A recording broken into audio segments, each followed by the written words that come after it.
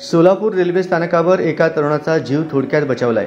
धावती railway पकडताना या प्रवाशाचा पाय घसरला. तो रेल्वे आणि फलाटाच्या मध्ये अडकला. त्यानंतर या तरुणाला सोलापूर रेल्वे पोलिसांनी प्रसंगावधान साधत बाजूला ओढले. मनोज कांबळे असे संबंधित तरुणाचे नाव आहे. काळ आला होता पण वेळ आली नव्हती असे चित्र मंगळवारी सोलापूर रेल्वे स्थानकावर पाहायला मिळाले. रेल्वे स्थानकावर गाडी पकडण्यासाठी प्रवासी हे नेहमी धावपळ करत असताना पाहायला मिळतात पण अनेकदा या प्रयत्नात भयंकर अपघात होतात. अनेकांना यामध्ये आपला जीवही गमावा लागतो पण सुदैवाने हा प्रवासी या घटनेत बचावलाय. बदलापूर येथे झालेल्या घटनेच्या पार्श्वभूमीवर सोलापूर रेल्वे स्थानक लोहमार्ग पोलीस आणि आरपीएफ पोलीस हे बंदोबस्तासाठी सोलापूर रेल्वे स्थानकात तैनात होते. मंगळवारी सायंकाळी सहा वाजण्याच्या सुमारास कोणार्क एक्सप्रेस ही फलाट क्रमांक एक वर आली होती. कोणार्क एक्सप्रेस फलाट क्रमांक एक वरून जाताना मनोज कांबळे नामक एक बत्तीस वर्षीय प्रवासी धावत्या गाडीत चढत असताना त्याचा पाय घसरला. पाय घसरल्याने त्याचा तोल गेला आणि तो रेल्वे डब्याच्या आणि फलाटाच्या मध्ये अडकला.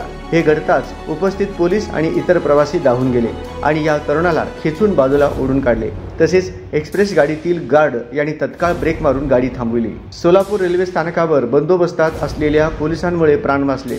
यामुळे मनोज कांबळे याने सर्व रेल्वे पोलिसांचे हात जोडून आभार व्यक्त केले. सोलापूर रेल्वे स्थानकावर सहाय्यक पोलीस निरीक्षक एम जे गुरव पोलीस उपनिरीक्षक संजय जाधव सहाय्यक पोलीस फौजदार प्रकाश कांबळे हवालदार साबीर जरतार परमेश्वर खरात प्रमोद सुरवसे नंदकुमार राठोड संदीप राठोड रुपाली सोलनकर यांनी प्रवासी मनोज कांबळे यास धीर देत सुरक्षेच्या काळजीबाबत सूचना दिल्या.